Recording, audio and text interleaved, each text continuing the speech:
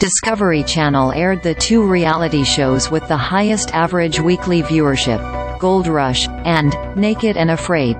Last one standing. According to data collected by Nielsen and shared with Forbes, finishing ahead of the headline Chasing Stars of Bravo's Series Point One One. That's how many shows in the top 20 were aired on Bravo. Discovery Channel had seven shows in the top 20. The Golden Bachelor, led the Bachelor franchise shows, which are classified as participation variety shows rather than reality television shows in Nielsen's data, in viewership this year. The Golden Bachelor, which was the most popular Bachelor premiere of the last several seasons, averaged 5.9 million viewers each week across its nine episodes, according to the Nielsen data. The Bachelor, was the franchise's next best viewed show, with an average of 3.8 million viewers weekly, followed by The Bachelorette, with 3.2 million average weekly viewers.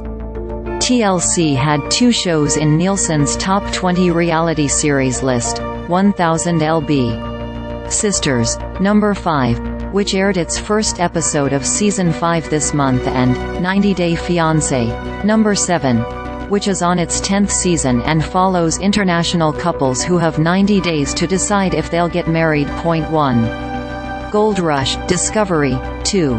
Naked and Afraid. Last One Standing, Discovery, 3. Below Deck, Bravo, 3.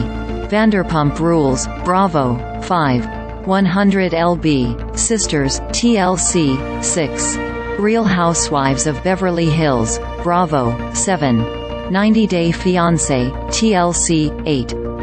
Real Housewives of New Jersey, Bravo, 9. Below Deck Mediterranean, Bravo, 10.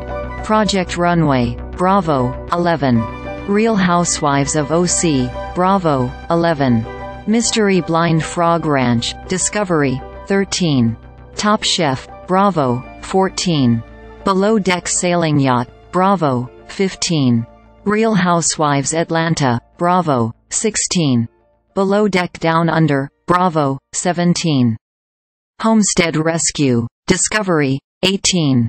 Gold Rush. Parker's Trail, Discovery, 19. Naked and Afraid. Castaways, Discovery, 20. Naked and Afraid, Discovery.